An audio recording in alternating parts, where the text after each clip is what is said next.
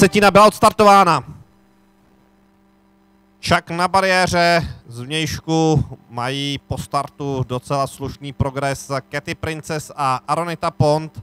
Gloušek si hlídá špičku, na bariéře ve středu pole zavřená Kopretina, z vnějšku potom Temerav, dále Sebastiano, Nit pole uzavírá White Ghost, na konci první cílové rovinky, koně v prvním oblouku na pravé straně závodiště, v čele dostuje Čak ze sté KK Metal, na druhé pozici je to Aronita Pont, dále potom Katy Princess, Gloušek a Temerav, to je vedoucí pětice.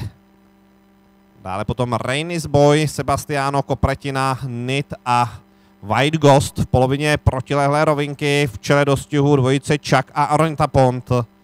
Gloušek na bariéře třetí a na současné pozici nebo na stejné pozici v tuto chvíli i Temerav a Katy Princess. Dále potom Rainis Boy, Kopretina, Sebastiano.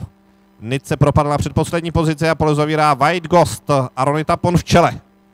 Aronita Pont s žokem Martinem Laubem zavádí koně do závěrečného bloku před celou rovinou, ale v tuto chvíli se na vedoucí pozici propracovává Temerav. Temerav Gloušek má pěkný závěr a vnitřní stopou jde v tuto chvíli na druhou pozici. Aronita Pont tam vybočila, dále je tam Rainis Boy z vnějšku úplně zvnějšku zhruba pátou, šestou stopou útočí, anebo se snaží zautočit Sebastiano Kopretina, je v tuto chvíli třetí. Gloušek na bariéře první a Temerav druhý. Tak kdo to bude, Gloušek nebo Temerav?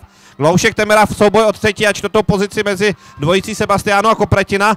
Gloušek probíhá cílem jako první, Temerav na druhém místě, Kopretina třetí, na čtvrtém místě, Sebastiano na pátém místě, Rainis Boy dále, potom Aronita Pontnit a Katy Princess, White Ghost a Chuck pole uzavřel.